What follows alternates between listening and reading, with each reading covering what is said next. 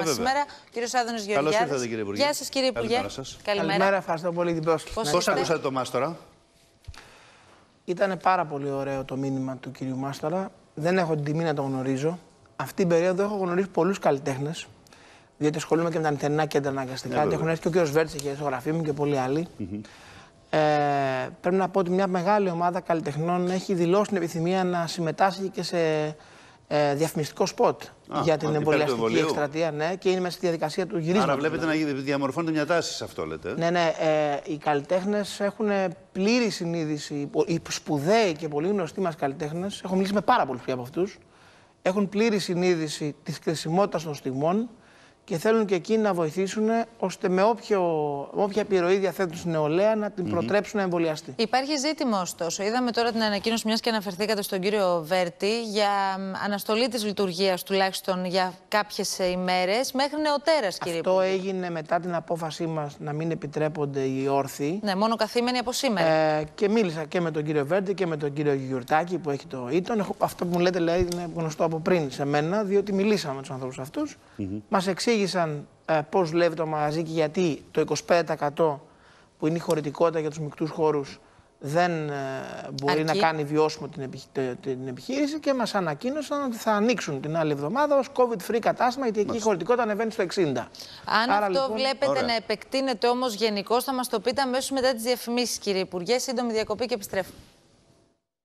Θα ξεκινήσουμε τη συζήτησή μας με τον Υπουργό, τον κύριο Γεωργιάδη. Σήμερα, από ό,τι φαίνεται, είναι η μέρα αποφάσεων. Στις 10 συνεδριάζει και η Επιτροπή έτσι κι αλλιώς των ε, ειδικών. Να ξεκινήσουμε από τη μάσκα, κύριε Υπουργέ, γιατί σας βλέπω ότι επανήλθατε κι εσείς με μάσκα. Αυτό είναι ένα σήμα ότι μάλλον από σήμερα θα ανακοινωθεί ότι επιστρέφει η υποχρεωτικότητα στους εξωτερικούς χώρους.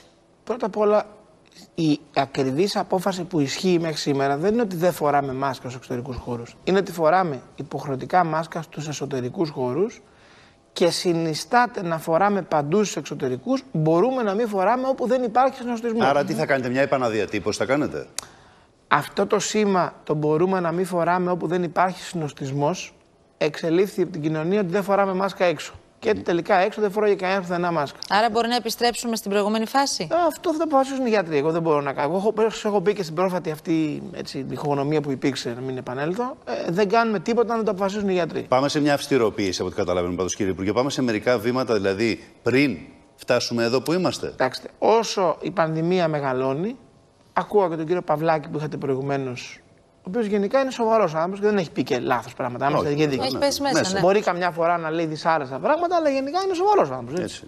Λοιπόν, ε, είναι προφανές ότι πρέπει να λάβουμε μέτρα. Ε, Πιστεύω ότι ε, λίγο το καλοκαίρι, λίγο η κόπωση που είχαμε από τις καραντίνες του χειμώνα, λίγο ο εμβολιασμός που, πε- που είχε ανέβει αρκετά, μα έδωσε μια αίσθηση ότι η πανδημία τελείωσε. Εγώ σε όλε τι συνεντεύξεις έλεγα: Παιδιά, η πανδημία δεν έχει τελειώσει. Και σε ορισμένες έκανα και φασαρία. Όμως η κοινωνία έχει αποφασίσει. Άρα ότι η δεν έχει πανδημία τελειώσει τελείωσε. και μπαίνουμε σε μια νέα φάση τώρα; Πρέπει να ελέγξουμε την πανδημία. Πρέπει να ελέγξουμε την πανδημία για δύο λόγους. Πρώτον, διότι αυτή τη στιγμή δεν είναι ξεκάθαρο η άνοδος αυτών των κρουσμάτων, τι πίεση θα έχει στο σύστημα υγείας. Λέω δεν είναι ξεκάθαρο γιατί έχει κάποια διαφορετικά χαρακτηριστικά από την προηγούμενη φάση. Δεν ξέρουμε τι αντίκτυπο θα έχει, λέτε, στο ΕΣΥ. Ναι, διότι επειδή έχει μειωθεί πολύ ο μέσος όρος ηλικίας και στις μεγαλύτερες ηλικίες το ποσοστό εμβολιασμού πιάνει άνω του 70%, είναι πιθανόν το ενδεχόμενο, υπάρχει και αυτή η πρόβλεψη, ότι τελικά η πίεση στο σύστημα υγεία θα είναι μικρότερη. Αρκετά μικρότερη. Λόγω του νεαρού της ηλικίας. Ναι. Ναι, άρα, Άρα, άρα εμείς πάμε τώρα σε μια νέα φάση κάποιου είδους περιορισμών, κύριε Υπουργέ, ξανά σε κάποια. σε Πρέπει κάποιες με περιοχές της κάποιο οικονομίας. τρόπο να, να εξηγήσουμε στους συμπολίτες μας καλόπιστα ότι πρέπει λίγο να προσέχουμε. Δηλαδή Πρέπει να νυχτερινά μαγαζιά. Ας πάμε εκεί. Beach bar, ε, bar, κέντρα διασκέδασης. Από σήμερα μπορούν να ε, μπαίνουν μέσα μόνο καθήμενοι οι πελάτες όπως μας ανακοινώσατε. Υπάρχει περίπτωση να ληφθούν και άλλα μέτρα; Ε, ασφαλώς, όσο η πανδημία μεγαλώνει μπορεί να ληφθούν και άλλα μέτρα. Δηλαδή μπορεί να δούμε να λειτουργούν αυτά τα καταστήματα μόνο για εμβολιασμένους, ας πούμε; Κοιτάξτε, η αρχική, μου, η αρχική μας πρόθεση ήταν ούτως ή άλλως η κλειστή χώρη να είναι μόνο για εμβολιασμένους. Όμως τότε είχε τεθεί ένα ζήτημα του κατά πόσον αυτό είναι συνταγματικός ορθόν και νόμιμο τηρουμένου του κινδύνου. Γιατί πάντα η συνταγματικότητα κρίνεται τηρουμένου του κινδύνου για τη δημόσια υγεία. Δηλαδή είναι δύο διαφορετικές συνταγματικές διατάξεις. Η μία η προστασία της δημόσιας υγείας και η άλλη οι ατομικές ελευθερίες. Λοιπόν, ε, θα μας πούνε οι γιατροί, εγώ θέλω να είμαι πολύ ειλικρινής. Εσείς η δική σας γνώμη ποια είναι; Πέρα από τους γιατρούς, οι γιατροί θα πούνε ότι είναι να πούνε και Εγώ τις αυτό μπορώ αποφάσεις. να σας πω ως Υπουργός Ανάπτυξης, το έχω ξαναπεί και το δηλώνω και να είμαστε όλοι ξεκάθαροι. Εάν κάποιος μαγαζάτορας, γιατί πιστεύει διάφορα που ακούω, στα- με τα οποία διαφωνώ παντελώς, ε, και αν θέλεις να συζητήσω, γιατί διαφωνώ ευχαρίστως. Ναι. Ότι δεν μπορώ να διαχωρίζω τους πελάτες μου, δεν μπορώ να έχω αστυνομικά καθήκοντα και διάφορα τέτοια, αποφασίζει να δηλώσει ότι έχει μεικτό χώρο.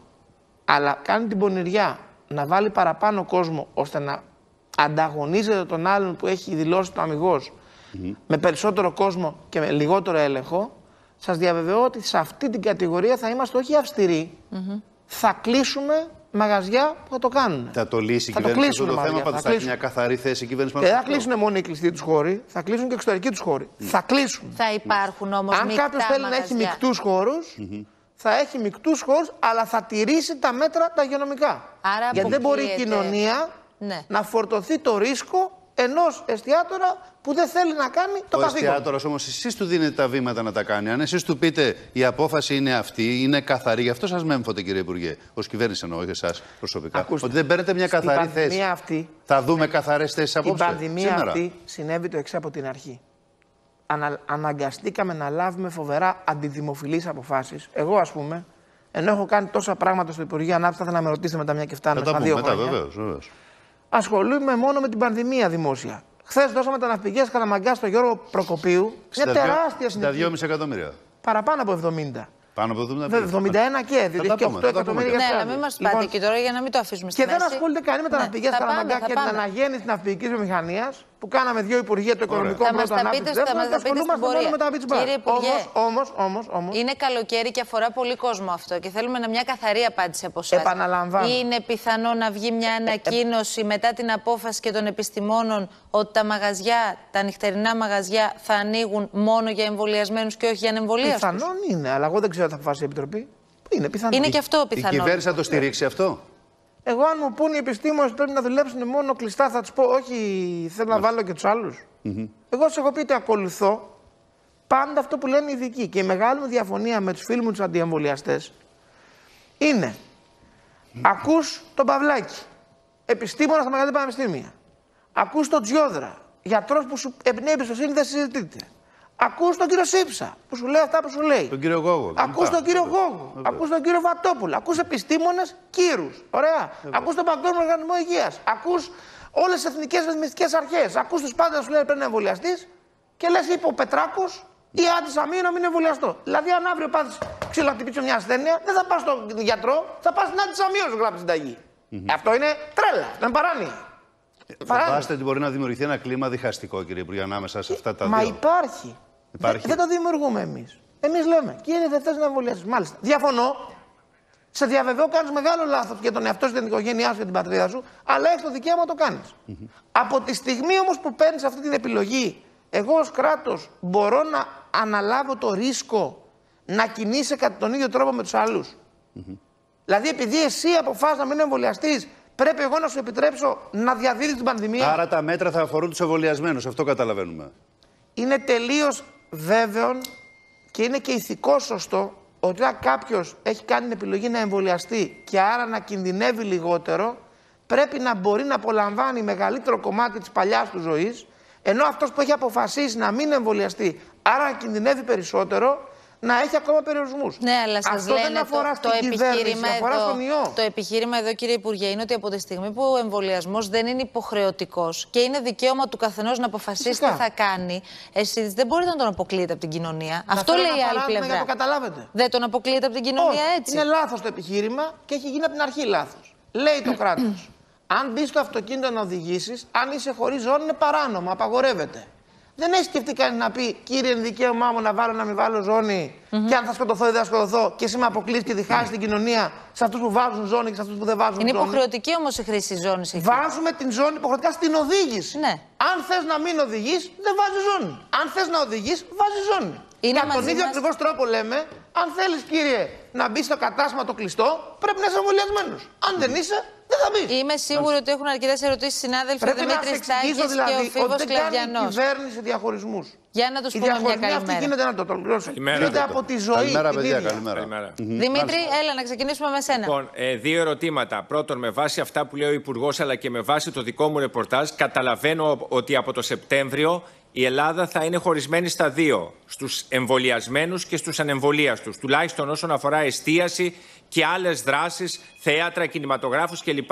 Ερώτημα να μας απαντήσει ο Υπουργός σε αυτό. Και ερώτημα δεύτερο, είδα χθες, κύριε Υπουργέ, με τα μέτρα που ανακοινώσατε και με αυτά που αναμένονται, μια πολύ έντονη αντίδραση από τους επιχειρηματίες της Μικόνου. Ενδεχομένως το επόμενο διάστημα να έχουμε και από άλλα νησιά που απειλούν, λέει, με αντιδράσεις που δεν θα έχουν προηγούμενο. Ε, γιατί λένε καταστρέφονται. Ότι βέβαια. καταστρέφονται, τους mm-hmm. κλείνεται μέσω σεζόν και όλα αυτά. Και μια απάντηση σε αυτό. Μόνο Αυτό το 1,5 χρόνο που διαχειριζόμαστε αυτή την πρωτοφανή κρίση, κύριε Τάκη, έχω αντιμετωπίσει υπουργός Ανάπτυξης διάφορες μεγάλες ανταρσίες σε εισαγωγικά. Κάποτε ήταν οι εστιατόρε και οι μαγαζάτες του λιανικού εμπορίου σε ένα νησί. Άλλο, δεν θα πω ονόματα, δεν θα αναφερθώ με κανέναν. Μετά ήταν οι έμποροι στη Θεσσαλονίκη που λέγανε «Ε, δεν θα στηρίσουμε τα μέτρα και θα ανοίξουμε παρά η κυβέρνηση θα μας κλείνει. Μετά ήταν το Αίγιο, η Κοζάνη. Mm-hmm. Ακούστε. Πάμε τώρα να συνεχθούμε ανθρώπινα και πολιτισμένα. Θέλω εγώ να κλείσω τα καταστήματα της Μικόνου, κύριε Τάκη. Προφανώς. Δηλαδή, εγώ ως Υπουργός Ανάπτυξης έχω κάποιο είδους συμφέρον να μην πάει καλά ο τουρισμός στη Μύκονο Μάλλον το αντίθετο. Άρα, θα έχει συμφέρον η Μύκονος αν έχει μία έκρηξη κρουσμάτων το νησί και σηκωθούν και φύγουν όλοι οι τουρίστες. Όχι, γιατί και είναι θα ήδη στο πορτοκαλί η Μύκονος. Ε; Είναι ήδη στο πορτοκαλί, λέω η Αυτό σας λέω. Ναι, αλλά σχεδόν πλήρως εμβολιασμένοι εκεί. Θα έρθω εκεί. Άρα είναι λογικό να υποθέσουν οι κάτοικοι της Μυκόνου ότι το συμφέρον τους είναι να μην υπάρχει έκρηξη της πανδημίας στην Μύκονο. Προφανώς. Στην πραγματικότητα δεν πρέπει να πάρει καμία απόφαση το Υπουργείο Ανάπτυξης. Μόνοι της οι μαγαζάτες Μυκόνου πρέπει να πούνε Παίρνουμε πολύ αυστηρά μέτρα προφύλαξης για τον COVID και κάνουμε και το σταυρό μας και ανάβουμε και ένα κερί στην εκκλησία. Διότι αν γίνει έκρηξη πανδημίας στη Μύκονο, τέλειωσε τη χρονιά και τη Μύκονο. Σας λέει όμως. Mm. Άρα λοιπόν. Σας λένε οι επιχειρηματίες ότι δεν λειτουργεί το νησί με τα αυστηρά μέτρα, διότι ακυρώνονται τα πάντα.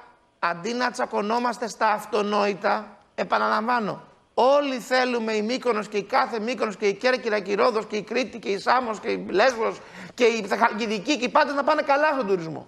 Αυτό θέλουμε. Κανείς δεν θέλει το ανάποδο.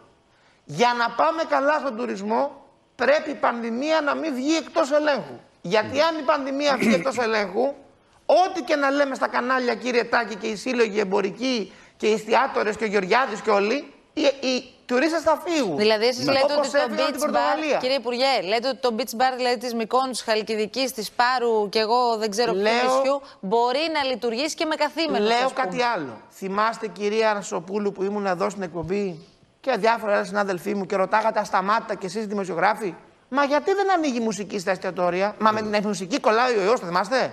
Και μετά που ρωτάγατε, Μα γιατί κλείνουμε στις 12 το βράδυ; Δηλαδή με 12 κολλάμε, 12 και ένα δεν κολλάμε; Άλλη, άλλη κατάσταση τότε. Τα απάντησε ο ιό. Διότι μόλις ανοίξαμε τα καταστήματα χωρίς ωράριο και χωρίς τα μέτρα και τη μουσική, τι έγινε; Διαδόθηκε η πανδημία. Χάρη, θα τα κλείσουμε όλα, κύριε Υπουργέ. Δηλαδή, θα διαδόθηκε. Θα τα κλείσουμε όλα. Τότε. Διαδόθηκε. Ε, ναι, αλλά πρέπει να μας πείτε όμως. Άρα η ζωή απάντησε σε αυτά τα ερωτήματα. Άρα ο ιός σας οδηγεί.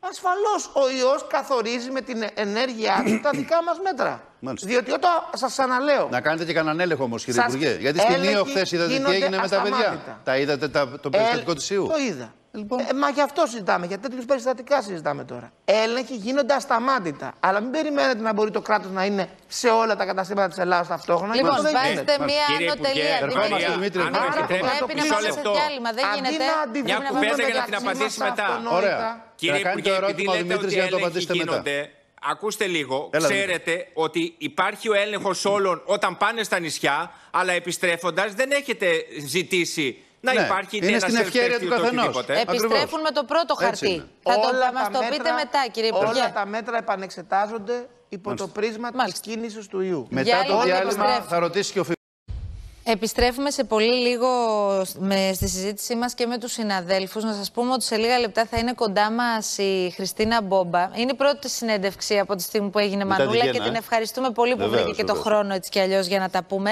Πριν όμως τη βρούμε, εδώ και με τον κύριο Γεωργιάδη, ε, κύριε Υπουργέ, μια κουβέντα για τους ρυθμούς των εμβολιασμών. Πάμε καλύτερα τις τελευταίες ημέρες ή εξακολουθεί να πέφτει Δύο, δύο παρατηρήσεις. Είπατε ότι, και είπε ο κ. Στάκης, ότι θα είμαστε λέει από Σεπτέμβριο διχασμένοι. Ναι. Καταρχάς δεν θα είμαστε σίγουρα διχασμένοι. Το ποσοστό πια των εμβολιασμένων είναι πολύ πάνω από το Έτσι.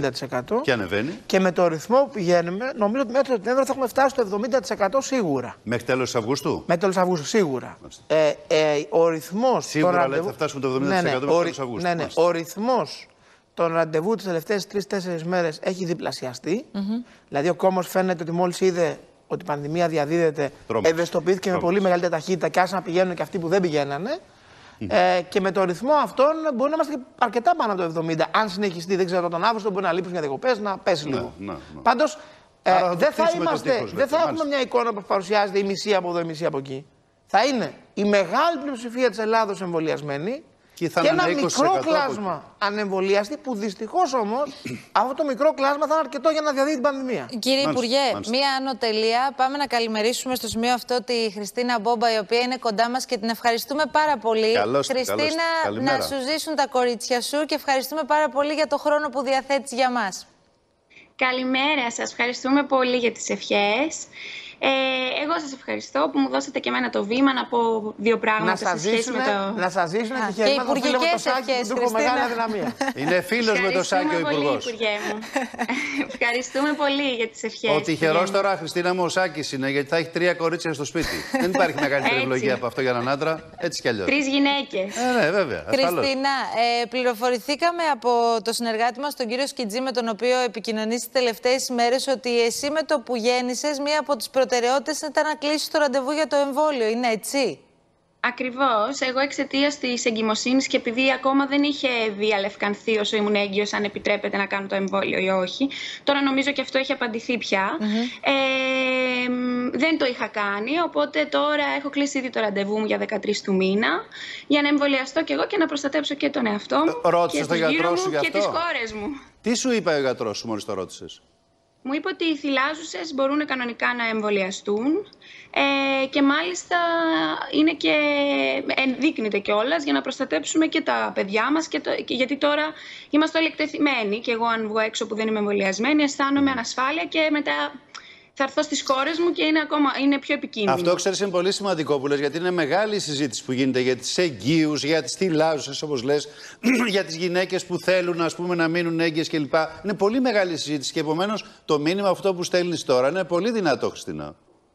Είναι μεγάλη συζήτηση. Ε, εγώ πιστεύω ότι πρέπει να ακούμε τους επιστήμονες, τους γιατρούς μας και τις επίσημες γραμμές που βγαίνουν σε σχέση με την κάθε ομάδα ε, της κοινωνίας. Είτε είναι γυναίκες που θέλουν ε, να κάνουν ε, παιδιά, είτε γυναίκες που είναι έγκυες, είτε που θυλάζουν.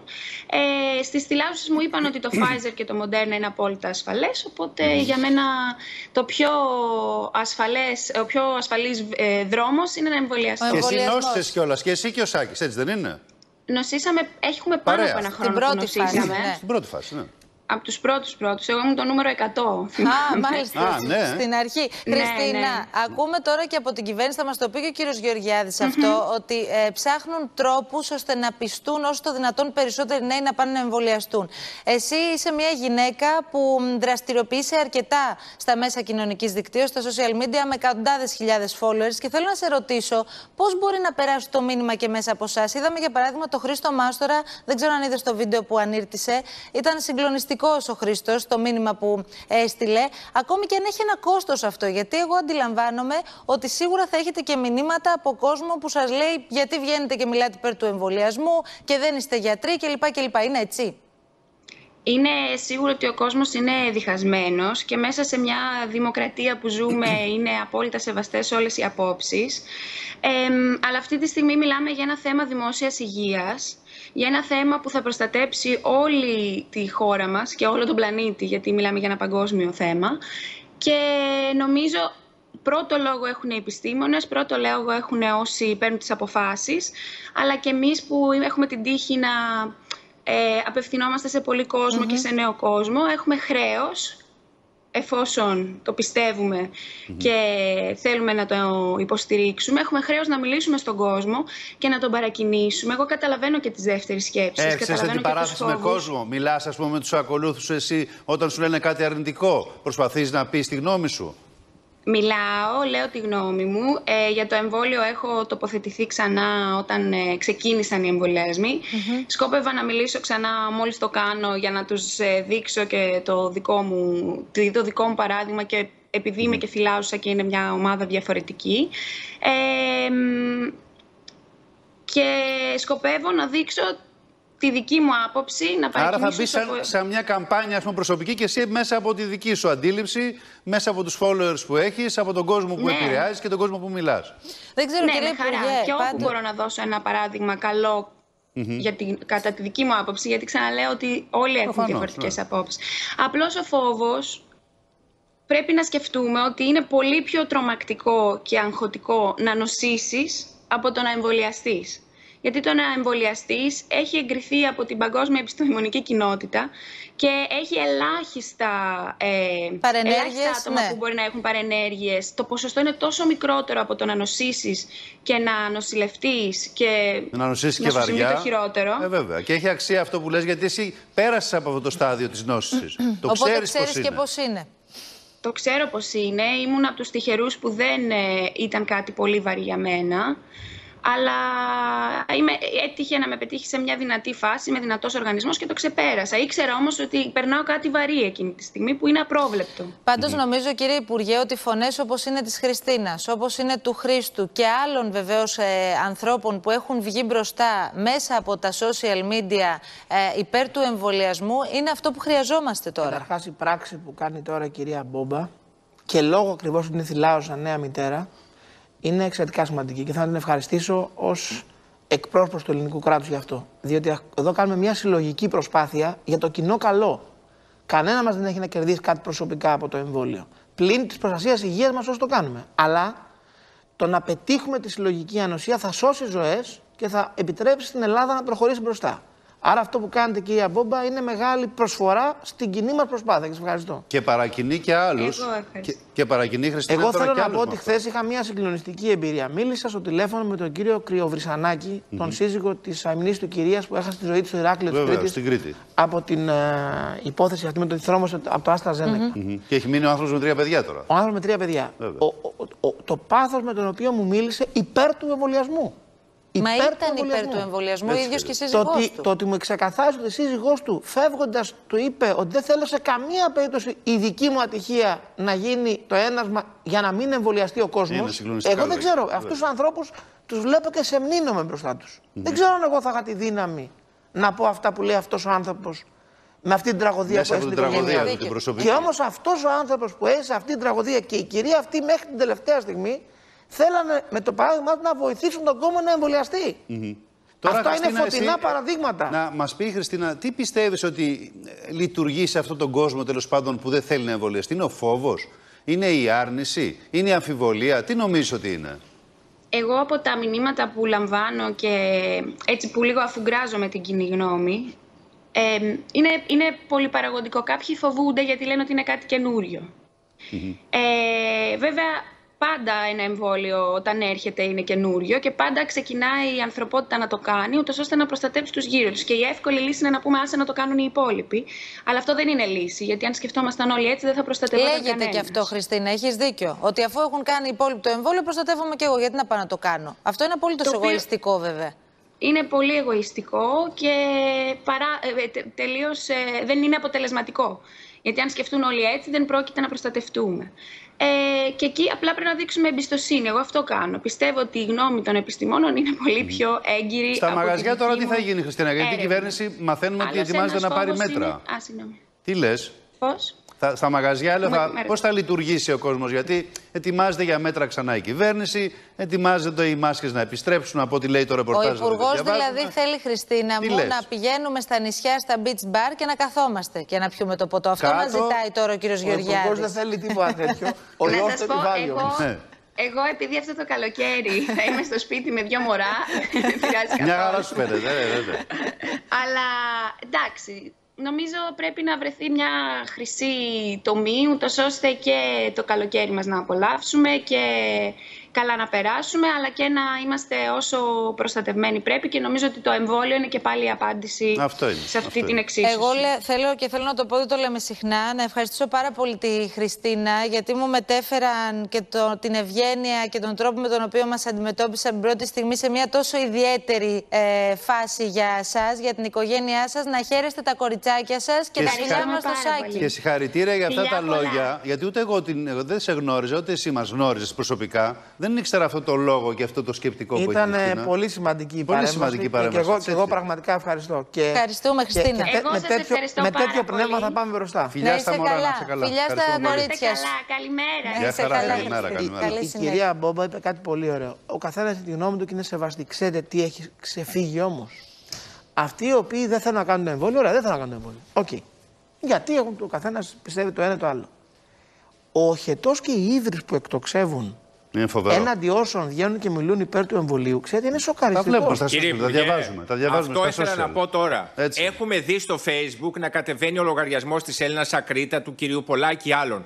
Οι λογαριασμοί όλων αυτών, όλων αυτών που απειλούν, που βρίζουν, που δημιουργούνται τα διάφορα ε, ανεμβολία, ε, εστίαση χωρίς μπόλη κλπ.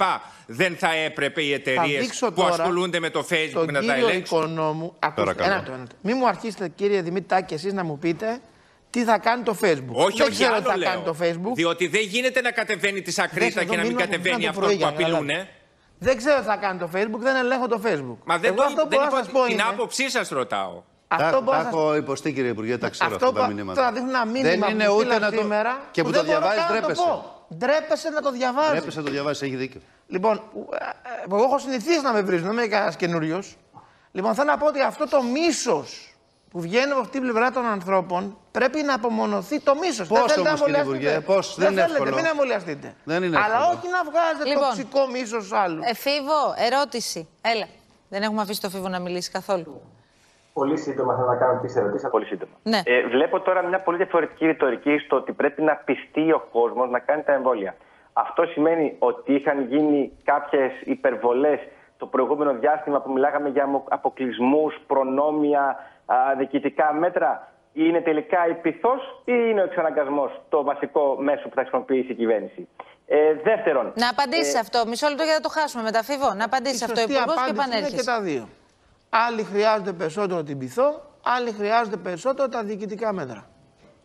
Γιατί μέχρι στιγμής έχει φανεί ότι δεν πάει καλά η, τα διοικητικά μέτρα. Η, Δεν θα είπατε ότι, θα συμφωνήσω. πάμε, ότι ενδεχομένως πάμε 70%. Ένα- ένα- αλλά ένα- ένα- η καθημερινή σήμερα Ε, ένα λέει ότι λεπτό, το 40% αυτών που δεν έχουν εμβολιαστεί, όχι να σας πω το νούμερο. Ε, ε, θα- ένα λεπτό. θα- ένα λεπτό. δεν Εάν θα- η δεν θα Ελλάδα, εμβο- εάν η Ελλάδα είχε σημαντικά μεγαλύτερο ποσοστό πληθυσμού που αρνείται να εμβολιαστεί από τον υπόλοιπο πλανήτη, θα δεχόμουν το επιχείρημα ότι κάτι κάνουμε λάθος εδώ. Μάλιστα. Η Ελλάδα δεν απέχει από τις άλλες χώρες. Αντιθέτως, στους εμβολιασμούς είμαστε πολύ πάνω από το μέσο όρο. Άρα δεν ισχύει αυτό το επιχείρημα. Δυστυχώς στην ανθρωπότητα ένα περίπου 30% στον πλανήτη, αναχώρα, αρνείται να εμβολιαστεί. Η Ελλάδα δεν μπορεί να είναι εξαίρεση σε αυτό που συμβαίνει σε όλο τον κόσμο, ούτε είμαστε εδώ πέρα μάγοι. Άρα μη μας κάνει πανικός. Ξαναλέω, ένα μεγάλο κομμάτι του πληθυσμού σε κάθε χώρα αρνείται να εμβολιαστεί. Και ένα μεγάλο πρόβλημα των κυβερνήσεων σε κάθε χώρα είναι πώς θα τους πείσει. Προχθές στο Twitter μου έβαλα μία αφίσα την εποχή που είχε βγει στην Αμερική το εμβόλιο για την ευλογιά. Και για να πείσουν τον κόσμο να εμβολιαστεί, επειδή και τότε δεν εμβολιαζόταν, είχαν βάλει ένα παιδί με ευλογιά και ένα παιδί Ακριβώς, υγιές. ήταν στην αφίσα. τρομακτικό. Ήταν τρομακτικό. Άρα και στα προηγούμενα εμβόλια, στην πολιομελίτιδα που έλεγε ο κύριος Παυλάκης το πρωί, σε κάθε γενική εκστρατεία Υπάρχει εμβολιασμού του άρνηση, πληθυσμού, βέβαια. ένα κομμάτι αρνείται. Σας είπε κάτι Ποιο άλλο ο κομμάτι, Φίβος. αυτό που είναι πιο συναισθηματικό.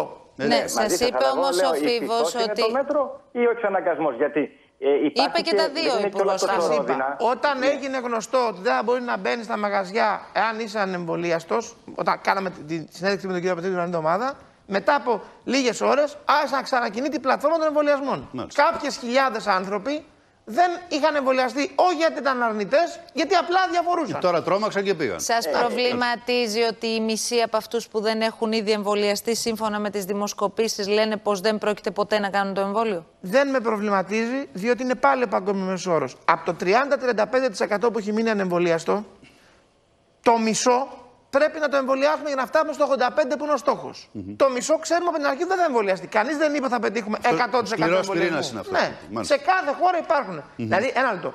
Μπορείς με διάφορου τρόπου, με, τη- με το ωραίο μήνυμα της κυρίας Μπόμπα, με το ωραίο μήνυμα του κυρίου Μάσταρα, με ξέρω εγώ ένα σπορ που θα κάνουν οι τραγουδιστές μα ή με τίποτα άλλο, να πείσει τον ενδιάμεσο. Αυτό που πιστεύει τώρα το εμβόλιο τον βάζει να του κολλάει το κουταλάκι ή που είδα χθες στο Twitter ένα φανταστικό. Ήθελα να το βάλω, το έβαλα, ήθελα να φαίνομαι προκλητικός. Είχαν βγάλει φωτογραφία ένα σταθμό κεραίας 5G και για κάποιο λόγο το αυτοκόλλητο έλεγε κεραία Δέλτα. Και λέει να λέει μετάλλαξη Δέλτα είναι Γιατί για όσους ονομάστηκε πάρουν το έτσι. εμβόλιο Ναι, ναι. να ενωθούν με την κεραία και να τους κάνουν κεφαλικό. Μάλιστα. Εντάξει, να Εκεί δεν παρα- δεν υπάρχει επιχείρημα. Εντάξει, Τι λες να να πεις. πας. Υπάρχει και καλύτερο. Υπάρχει και καλύτερο. Τώρα είναι ένα καινούριο που λένε ότι αν έχεις εμβολιαστεί και κάνεις μαγνητική τομογραφία, να τεινάζεται, λέει ο μαγνητικός τομογράφος, γιατί βρε, βγαίνει Δημήτρη. ένα νόσκονη από μέσα. Λοιπόν, ε, επειδή δεν Ναι, το ναι, ήξερα ναι. αυτό, να σου απαντήσω ότι προχθές έκανα μαγνητική τοπογραφία. Δεν για τη πάθατε μέση μου. τίποτα. Όλα καλά. Ε, ε, Βγήκε και πολύ καλή η μαγνητική ευτυχώς. Ευτυχώς. Λοιπόν, Αυτό προχθές είναι το έκανα σημαντικό. μαγνητική τομογραφία για τη μέση μου και δεν ανατινάχθηκε το μηχάνημα ούτε εγώ. Πάντως Μια σε χαρά είναι. αυτό, σε αυτό, κύριε Υπουργέ, που έλεγε νωρίτερα η Χριστίνα, μας το λέει και ο Μανώλης ο Κωστίδης. Ο Μανώλης γέννησε πρόσφατα η γυναίκα του. Στον 8ο μήνα, λοιπόν, ρώτησε τον γιατρό και πήγε και εμβολιάστηκε η γυναίκα του τον 8ο μήνα. Και τώρα που θυλάζει η Δανάη, η γυναίκα του Έχει Μανώλη, αντισώματα. παίρνει αντισώματα. Φίβο, Ε, ένα τώρα. Στα σοβαρή συζήτηση για τον εμβολιασμό δεν μπορεί να γίνει. Το λέω ότι είναι Σοβαρή. ευαίσθητη περίοδος αυτή Είναι πολύ για τις πλέον- γυναίκε. άκου, Το Θέλει να προσοχή. φοβάσαι το εμβόλιο τον Ιανουάριο που πρωτοξεκίναγαν οι εμβολιασμοί είχε μια κάποια λογική. Το να φοβάσαι το εμβόλιο σήμερα που έχουν εμβολιαστεί 4 δισεκατομμύρια δόσει στον πλανήτη, ε, με συγχωρείτε, είναι πια παράλογο. τελευταίο ερώτημα από το Φίβο για να ολοκληρώσουμε. Τελευταίο Λεφτικό. ήθελε να πει και κάτι ο Υπουργός μετά. Ναι, ναι. Αν ισχύει αυτό που είχε πει πρόσφατα ο κύριος Υπουργός, ότι αν ξαναμπούμε σε καραντίνα, κάτι που κατά τη γνώμη μου δεν μπορεί να αποκλείσει κανείς έτσι όπως εξελίσσεται η μετάλλαξη Δέλτα. Σε γενική καραντίνα λες τώρα, σε Ναι, ναι, γενικό όχι, lockdown. αν- σε, σε μέτρα, δεν ξέρουμε Σε τι μέτρα, καραντίνα, ναι. ε, δεν είναι άστρο μαύρο, έχει διάφορες εκφάνσεις. Ε, αν αυτό ο, γίνεται να δώσει επιδόματα και βοηθήματα η κυβέρνηση, έχουν τελειώσει τα λεφτά, όπως είπε. Γιατί αν Μάλιστα. ισχύει αυτό, πολύ πιθανό να πηγαίνουμε σε μνημόνιο μετά. Δεν υπάρχει κανένας φόβος μνημονίου, γιατί δεν υπάρχει καμία περίπτωση να γίνει γενική καραντίνα, όπως είπε ο κ. Πρωθυπουργός προχθές. Μάλιστα. Πλέον το μεγαλύτερο κομμάτι του πληθυσμού είναι εμβολιασμένο. Τι θα πει αυτό, προσέξτε. Όχι ότι δεν κινδυνεύει να νοσήσει, υπάρχει ένα μικρό ποσοστό που μπορεί να νοσήσεις αν και εμβολιασμένος. Αλλά έχεις 0% πιθανότητα να μπεις σε μονάδα εντατικής θεραπείας. Άρα το, μο- το μεγαλύτερο κομμάτι του πληθυσμού μας δεν θα κινδυνεύει να πεθάνει από τον ιό. Κύριε θα Υπουργέ, κινδυνεύει δεν να έχουμε άλλο κολλήσει, χρόνο. αλλά όχι να πεθάνει. Χθες κλείσατε δύο χρόνια διακυβέρνησης και εσείς, ως Υπουργός στο αρμόδιο Υπουργείο, θα θέλαμε να μας πείτε τα πέντε βασικά πράγματα που έχετε κάνει σε αυτό Καταρχάς, το Υπουργείο. θα ήθελα να πω ότι η χθεσινή επέτειος των δύο ετών για μένα προσωπικά και για την κυβέρνηση συνοδεύτηκε από δύο καταπληκτικές ειδήσεις. Στις 12 το μεσημέρι έγινε η παρουσίαση του πύργου από τη Λάμδα στο ελληνικό. Χθες, βέβαια. Για ένα ε, έργο για το οποίο ξέρετε όλοι ότι έχω δουλέψει πάρα πολύ. Μου ασκήσατε δρυμία κριτική, κυρία Σοπούλου, εδώ. Η κυρία, βέβαια. Αλλά χαίρομαι Και πολύ Άδικα, που ο λέτε. κύριο. Πολύ άδικα. Ε, Δεν έχετε παραναδείτε τις δηλώσεις του επενδυτού. Καλό πράγμα. Βγήκατε Η λίγο κριτική. εκτός Κύριε, χρονοδιαγράμματος, του κυρίου κύριε Υπουργέ, Οδυσσέα συμβαίνει. Αθανασίου, ο οποίος σε 50 συνεντεύξεις τον ευχαριστώ μέχρι τώρα έχει πει. Φιλοξενήσαμε εδώ τον κύριο Θανασίου. Ο μας κύριος τα είπε. Γεωργιάδης είναι υπουργός διαστημικής ταχύτητας και αν δεν ήταν αυτό να αναλάβει το έργο, τώρα Άρα θα το γινόταν μετά μεγάλο από σας χρόνια. λέτε έργο είναι το ελληνικό. Άρα, όταν ο επενδυτής λέει ότι όχι μόνο καταφέραμε να κάνουμε το έργο, αλλά το κάναμε και πάρα πολύ γρήγορα, Μάλιστα. είναι κωμικό να διαφωνούν οι δημοσιογράφοι. Ωραία, πάει αυτό, λοιπόν. Τρίτον, δεύτερο, δεύτερη είδηση Δεύτερο. χθες, πετύχαμε με τον Υπουργό Οικονομικών κ. Σταϊκούρα και ε, εμένα να ολοκληρωθεί η διαδικασία απόλυση των ναυπηγείων Σκαραμαγκά σε έναν καταπληκτικό Έλληνα εφοπλιστή, τον Γιώργο Προκοπίου, με ένα πολύ υψηλό τίμημα, πολύ μεγαλύτερο από ό,τι ανέμενε η αγορά, πάνω από 70 εκατομμύρια. Και έχουμε τώρα με τα ναυπηγεία Σύρου που πετύχαμε να ξεμπλοκάρουμε πριν από ένα χρόνο και δουλεύουν. Και τα ναυπηγεία Σκαραμαγκά που μπαίνουν τώρα στη διαδικασία Θα να δουλέψουν. δουλέψουν. φυσ- Με Μάλιστα. τον Προκοπίου Άντε να εκεί δω. σίγουρα. Άντε να δω. Πλήρη πια αναγέννηση ναυπηγικής βιομηχανίας και το μόνο που μένει για να ολοκληρώσουμε το σχέδιο είναι και η Ελευσίνα Μάλιστα. που είναι Πάμε κάτι στο πιο δύσκολο, επόμενο, σε αλλά με και τίτλους, σχέδιο. κύριε Γεωργιάδη. Πετύχαμε, να κλείσουμε, πετύχαμε ελάτε. αυτά τα δύο χρόνια. Πλέον είμαστε εκτός Να παραλάβουμε στο Υπουργείο Ανάπτυξης στην Ελλάδα στην απορρόφηση του ΕΣΠΑ στη θέση 22 Και και, πού είστε είμαστε τώρα; στη θέση 1. Ένα. Από, ένα. Από 22 είμαστε 1. Κλείνουμε κύριε Υπουργέ, θα μας διώξουν. Λοιπόν, Ελάτε. και ταυτό, λύ- κλείνω, δύο πράγματα. Πάμε να μόνο. δουλέψουμε και στο ελληνικό ταυτόχρονα μετά. προλάβαμε. Ναι, ναι, μας να παρακολουθείτε τα φέρουμε γεγονότα. επενδύσεις όπως η Pfizer, η Microsoft, να σώσουμε την Beachos, να σώσουμε την Greta Farms και πολλά πολλά άλλα μέσα σε αυτό το Μάλιστα. χρόνο. Άρα, όποιος πει ότι δύο χρόνια μείναμε αδρανείς και ασχολούμαστε μόνο με την πανδημία, κάνει λάθος. Και να κλείσω μόνο με αυτό. Μπορείτε να οργανώσετε μια συνέντευξη Σήμερα τύπου στο στην Υπουργείο σας, καθημερινή- κύριε Τελειώσαμε, Υπουργέ. παιδιά. Σήμερα Ελάτε. στην Στην αγορά, καθημερινή. κύριε Υπουργέ, Υπάρχει η πρωτοσέλιδο. Παιδιά, δεν αγορά έχουμε λίγο χρόνο για συγκεκριμένη. αντιπαραθέσεις. Σήμερα Αυτά που στην βλέπει. καθημερινή Ελάτε. υπάρχει ένα πρωτοσέλιδο Ναι.